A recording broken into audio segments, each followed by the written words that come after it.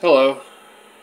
I'm going to be reading, I mean, I'm going to be making uh, videos, uh, separate videos, reading from this book. And this video is part one.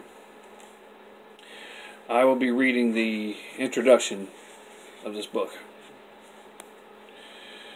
Judging is one of the most difficult subjects in the Bible to grasp, but it is also very important. It is a subject on which there is tremendous ignorance among Christians at large, and consequently tremendous disobedience. It costs, it costs us all dearly. Multitudes of Christians, uh, partly through ignorance and partly through disobedience, often act contrary to Scripture in the ways they do or do not judge. There is an apparent paradox in the statements of Scripture primarily in the New Testament, about whether or not we are to judge. A number of passages say that we are not to judge, and just about as many say that we are to judge. Which are we to follow?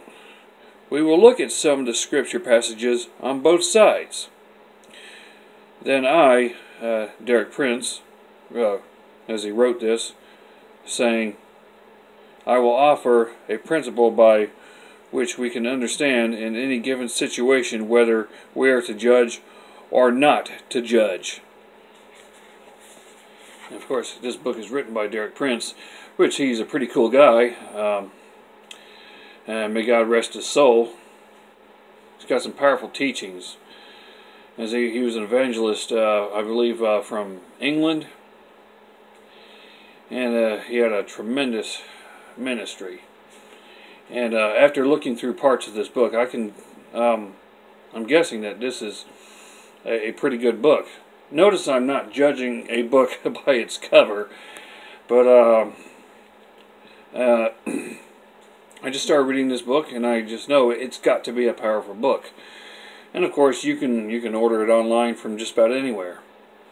And uh, like I say, I'm going to be making uh, separate videos uh, reading from different parts and sections of this book as I as I progress uh, through this book.